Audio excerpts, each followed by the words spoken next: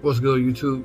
Um, just want to do a quick update, just to let y'all know that the the no prep drag Civic is now running. So let's check in and let's see where we at with her.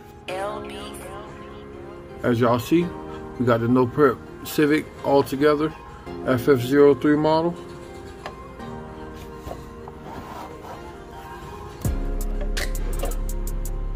She finally together, and she is now running. My latest upgrade that I did to her, which is one that I'm mostly super proud of, is I built these traction bars for which I got them set in the back position now, but later I may go to the forward position, which will move the tires forward and keep them tight. But right now we got them set in the back position and we're gonna give that a try. Like I said, everything we're gonna do on this video is gonna be a learning curve and we're gonna try it out and we're gonna see what kind of numbers we get and we're gonna adjust it the other way and see what numbers we get again. So now let me just show y'all that she's up and running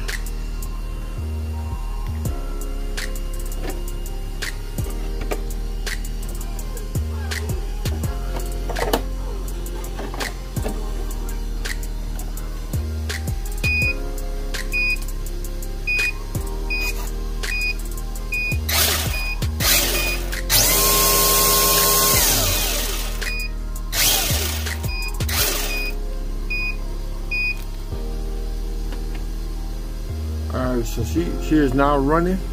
I haven't tuned her anything. My next video, I will make a run.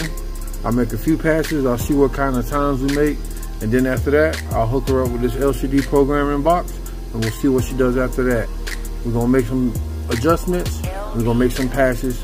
This one right here, I'm expecting to get under the 3.0 second time off back. So y'all stay with me. And we're to see what kind of times we get. Right now it's raining because of the hurricane. So y'all just look out for my next video. Thank you.